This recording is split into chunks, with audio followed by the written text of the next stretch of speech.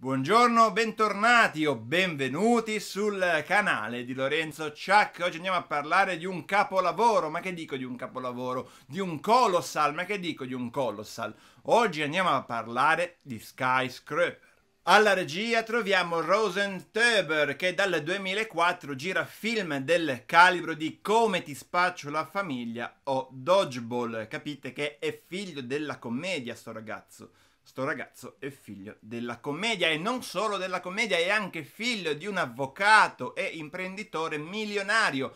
Nel 2002 il giovane Rosen si gira una pubblicità e nel 2004 decide di girare un film, appunto Dodgeball, così un po' così perché gli andava. L'agente Will Sawyer, interpretato da The Rock, è costretto a lasciare l'FBI dopo molti anni di servizio, a causa della perdita di una gamba. Will comandava una squadra di agenti speciali addestrati nella liberazione degli ostaggi. La missione prevedeva che Will e la sua squadra facessero irruzione in una casa in cui un uomo si era barricato con moglie e figli e stava minacciando di uccidere la sua famiglia per poi uccidersi. Will fa irruzione, cerca di neutralizzare saltare l'uomo, ma l'uomo si fa saltare in aria e Will perde una gamba.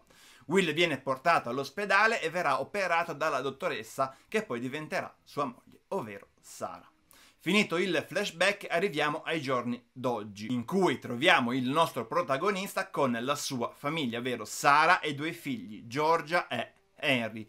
La famiglia si è trasferita a Hong Kong e Will indossa una protesi per la gamba di ultimo livello che praticamente lo fa camminare come se non avesse nessun problema. E qui nasce la domanda, era veramente necessario strappare una gamba The Rock per questo film? Cioè non bastava il grattacielo altissimo che lui dovrà scalare, no serviva proprio strapparci una gamba per rendere le cose più difficili, ma poi questa gamba non è che rende le cose così difficili in realtà. Cioè viene inquadrata molte volte la gamba, ma la gamba fa il suo lavoro, ovvero quello di sorreggere Will. Eh, alla fine è The Rock che combatte in un film d'azione. Non è The Rock che è senza una gamba e combatte in un film d'azione. Ci sono veramente tre scene in cui la gamba ha valore, cioè rende la, la, cosa più difficile, rende l'azione che deve fare Will più difficile, o che rende la scena leggermente diversa da tutte le altre scene dei film d'azione, specialmente dei film in cui la gente deve arrampicarsi su per dei grattacieli. Perché ovviamente è anche inutile dirlo, questo film fa l'occhiolino ai Day Art con Bruce Willis. Non c'è tanta differenza, a parte che il grattacielo è più alto e che invece di avere Bruce Willis abbiamo The Rock.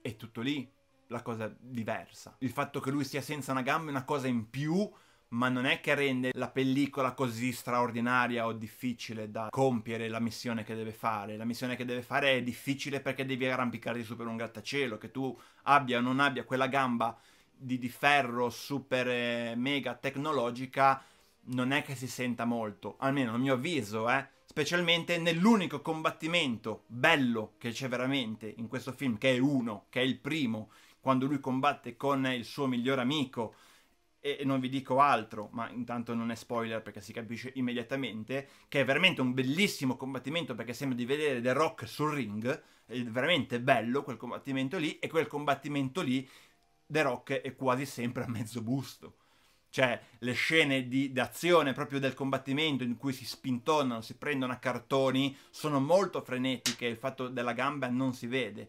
E quando lui ha problemi con la gamba, lui è sempre a mezzo busto, quindi non vedi neanche la, l'handicap di quest'uomo nel combattere, non la percepisci, la percepisci pochissimo, non c'è un'enfasi sul fatto che lui sia senza gamba che è poi quello che ti ha portato a vedere questo film. Dici, un film d'azione con The Rock che però ha perso una gamba e deve andare in cima al, al grattacielo più alto del mondo, che è altissimo, ovviamente inventato, non esiste, ma è altissimo. Adesso non mi ricordo quanto è, tipo chilometri di, di grattacielo. Con, si chiama La Perla, il grattacielo The Pearl, e c'ha questa palla da golf, no? Di, di, da tennis in cima, bruttissima. Vabbè, ma delle cose, ragazzi, ma delle cose, ma ci arriviamo. E da qui inizia il film, Will. Lavora nella sicurezza, il capo del grattacielo, il proprietario del grattacielo, ha bisogno di qualcuno che vada a fare un'analisi dei servizi di sicurezza, dei servizi antincendio del suo grattacielo prima dell'apertura del, dell'inaugurazione e Will andrà a fare queste cose qua e, e, succederanno cose, ovviamente, come in tutti i film sui grattacieli. Partiamo a dire che dal mio punto di vista, personalissimo punto di vista, questo film è fatto un po' alla come si potrebbe dire? Se mi permetti, a cazzo di cane. Esatto, non sono le parole che avrei usato io, però c'entrano il bersaglio. Diciamo subito che questo film è il film del accendi e spegni. E mi sembra già di aver detto troppo, poi capirete vedendo il film e se l'avete visto avete già capito. E non ditemi se a voi questa cosa qua non ha fatto rotolare le ciliegie per terra, ok? È già è una cosa che a me non è andata giù proprio per niente, ma proprio per niente, proprio triggeravo di brutto. E poi, seconda cosa, molto più importante, questo qui è il film del ti spiego tutto a voce perché non so spiegartelo con le immagini. Allora non fai i film se non sai spiegare le cose con le immagini. La verità è che certa gente dovrebbe andare a zappare.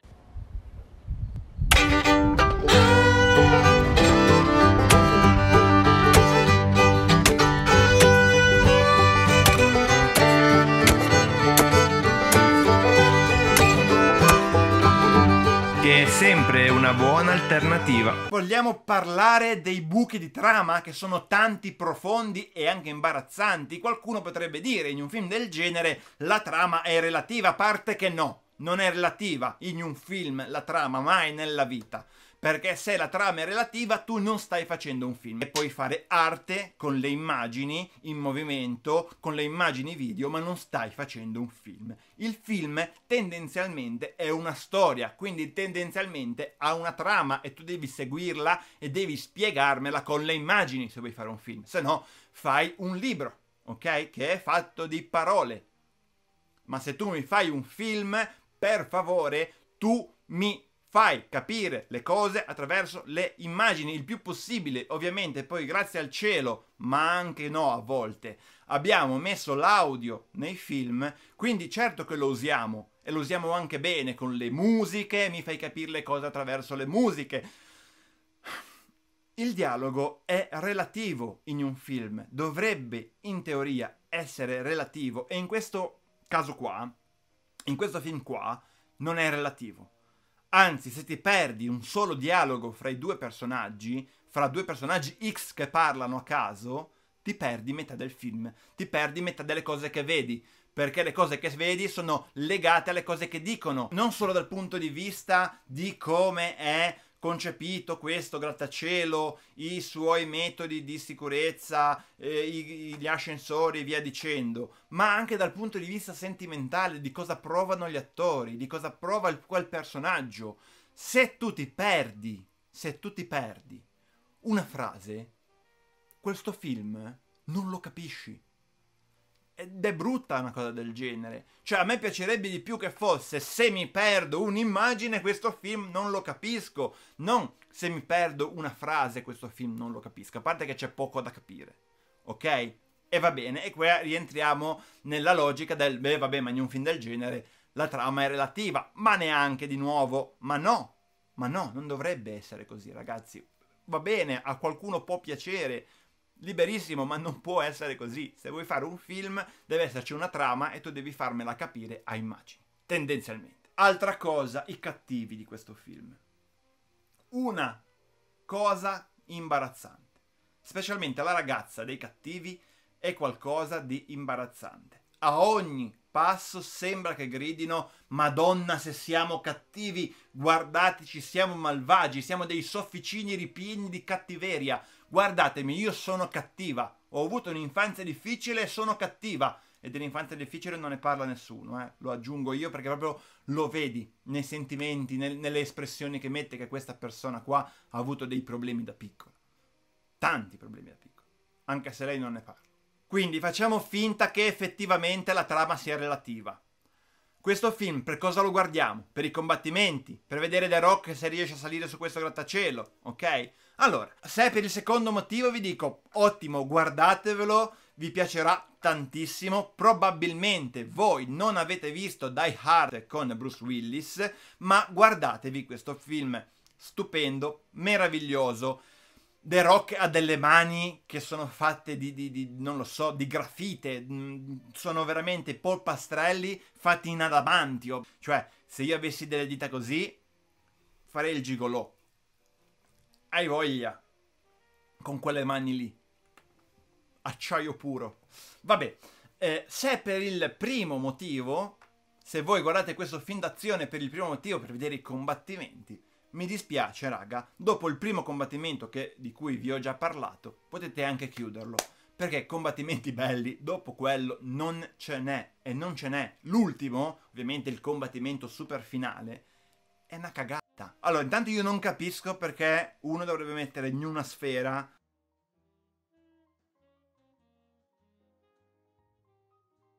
E vi ho già detto troppo, forse questa parte qua la censurerò. O forse no. Non lo so, magari ve la censuro subito e poi ve la metto senza censura alla fine. Fatto sta che di combattimenti belli, dopo il primo, ed è veramente bello, a me il primo è piaciuto veramente tanto, eh, tantissimo. Un combattimento fatto benissimo, della Madonna, fatto bene. Parte The Rock a mezzo busto in cui non vedo se c'ha una gamba di, di metallo o meno. Ma a parte quello, ma tralasciamo la gamba di metallo. Ne abbiamo parlato, basta, non c'è più questa gamba di metallo, anche perché poi il film si vede che se lo dimentica. Cioè, giusto in tre punti, ve l'ho detto, e poi basta. Quindi parliamo del film come se fosse un film d'azione normale, dove il protagonista ha entrambe le gambe e fa quello che deve fare, perché poi alla fine è questo. Cioè, è, è, già hanno cercato di mettere una difficoltà in più a The Rock e non ce l'hanno fatta perché poi se la sono dimenticata, perché poi hanno visto che effettivamente diventava veramente difficile fare le cose con una gamba di metallo e quindi hanno detto vabbè, accantoniamola un po'. Quindi non è un film che va a sensibilizzare sul, sull'handicap, ok? È un film inutile da questo punto di vista.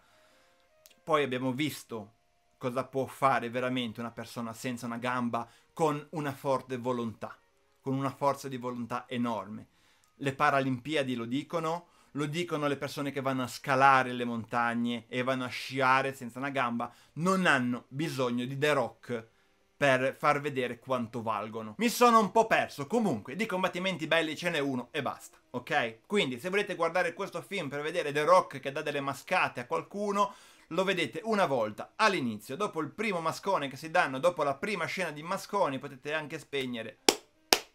Perché da lì, masconi, fatti bene, non se ne vedono più. Comunque meno male che c'è Downey Johnson, perché è veramente quello che si tira dietro tutto il film, avanti e indietro, a destra, a sinistra, sopra e sotto. Cioè, meno male che ci hanno messo lui. E lui qui lo troviamo sia come protagonista che come produttore. E forse è per questo che ci ha messo tutto se stesso in questo film. Perché ci ha messo anche gli sgay, quindi. Eh. E già che parliamo di produzione, diciamolo, il film è costato 125 milioni e ne ha incassato poco più di 300. E quindi a voi vi verrà da dire, beh, quindi non è andato malissimo. Eh. Eh.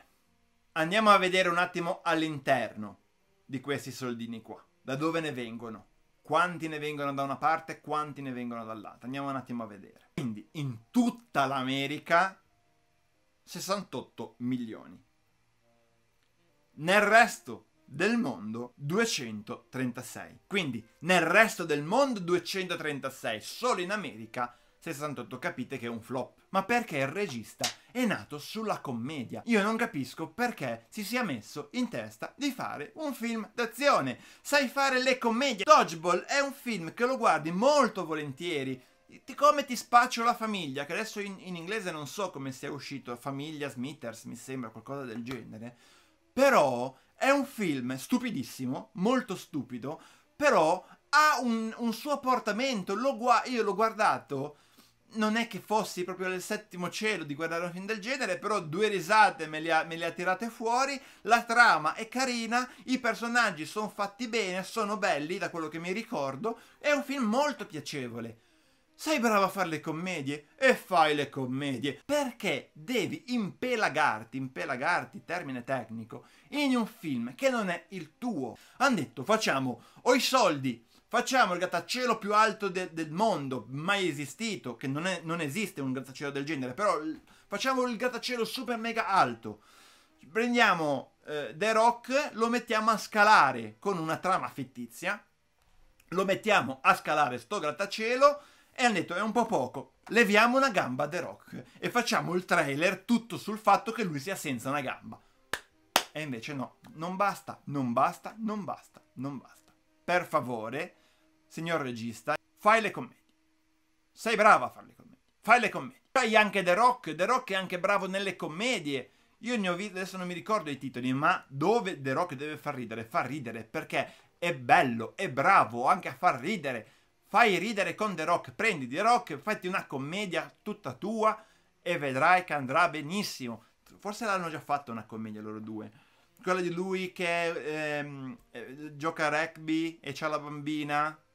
Quello che c'è la bambina che lo guarda a un certo punto ci fa perché hai le tette. Quello lì è bello come film, fa ridere, è piacevole. Fai film così, sei bravo. Perché ti devi impelagare in film d'azione? Lasciali fare dagli altri i film d'azione. Lasciali fare agli altri. Quindi un cast della Madonna, perché anche gli altri sono veramente dei bravissimi attori. E anche gli effetti speciali sono meravigliosi, però sono usati, sia cast che effetti, sono usati per un film che non ha di spina dorsale, perché non ha una trama, non ha una bella trama, non ha una trama spiegata bene, secondo me, punto di vista, eh. Non ci resta che aspettare il suo prossimo film, ovvero Red Noctis, un altro film d'azione, con The Rock, Ryan, non lui, quello con delle espressioni facciali, esatto, lui, e la bellissima Gal Gadot. Io spero vivamente ci porterà un filmone con una bella trama, questi attoroni usati strabene. Vediamo, speriamo, magari ci esce anche un filmone d'azione fatto bene, chi lo sa. Oh, magari mi stupisce. Io non ci credo, finché non vedo non ci credo, ma ci spero. Quindi speriamo al meglio, prepariamoci al peggio. A me non resta che salutarvi qui, vi ricordo Instagram, vi ricordo di iscrivervi se non l'avete ancora fatto e non mi resta che mandarvi alla prossima settimana. Ah no, domani esce Dune. Ciao! Non capisco perché uno dovrebbe mettere in una sfera una stanza degli specchi. Non lo capisco. Comunque.